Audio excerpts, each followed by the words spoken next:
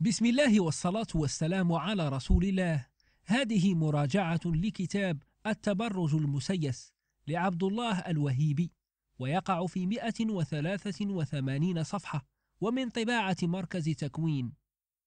كتاب صغير الحجم ولكن من الواضح أن المؤلف اجتهد اجتهادا كبيرا في جرد مادة الكتاب فهو مليء بالمراجع وهو يتكلم عن قضية محاولة التغيير الثقافي في السعودية على ضوء سياسات مكافحة الإرهاب.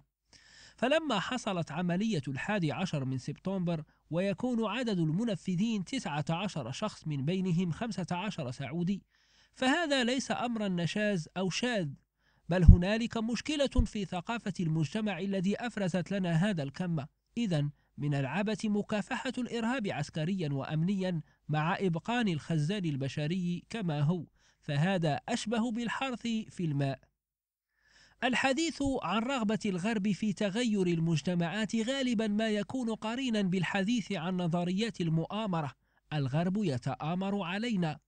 مما يجعل هذا الكلام ضربا من ضروب السخف خصوصا مع تهكم الكثيرين حول هذه المصطلحات ومدلولاتها.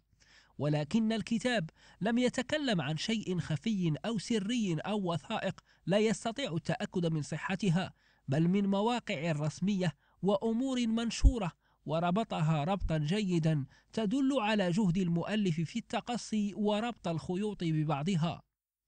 الكتاب أغلبه محاولة عرض أي ليس محاولة رد أو استدراك لذا الكتاب تقل فيه التعليقات المعقبة على تخليصات المؤلف للمعلومة.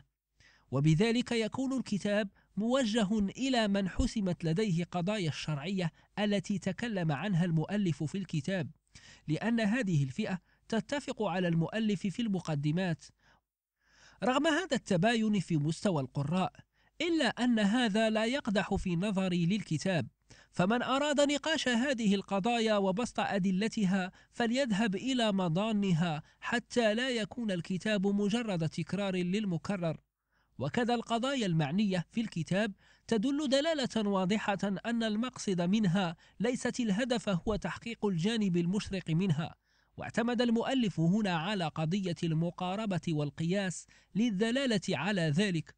وهذا من أنجع صور الاستدلال كما سوف ترى في الكتاب.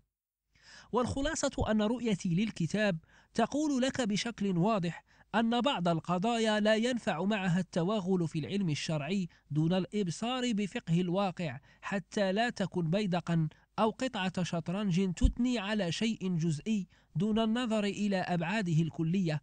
فتهدم وأنت تظن أنك تبني وهذا أطنب الكلام حولها المحدث عبد العزيز الطريفي في كتابه العقلية الليبرالية. وفي الختام أقول لقد كانت الثقافة ولا زالت حربا من الحروب التي تشنها الأمم على بعضها البعض. وهنالك من يفطن أن الثقافة جزء لا يتجزأ من الهوية ومشروعيتك لا تتم إلا بهوية مستقلة.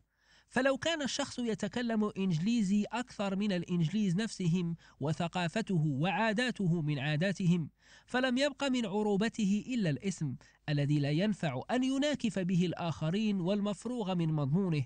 ولذا ترى أن أمثال الباحثة البريطانية فرانسيس ستونر سوندرز أفردوا مصنفات في ذلك مثل كتابها من الذي دفع للزمار؟ الحرب الباردة الثقافية تعطيك تصور كيف أن حروب الثقافة لا تقل شأنا عن الحروب العسكرية من أجل مسخ الآخر وإلحاقه بالتبعية.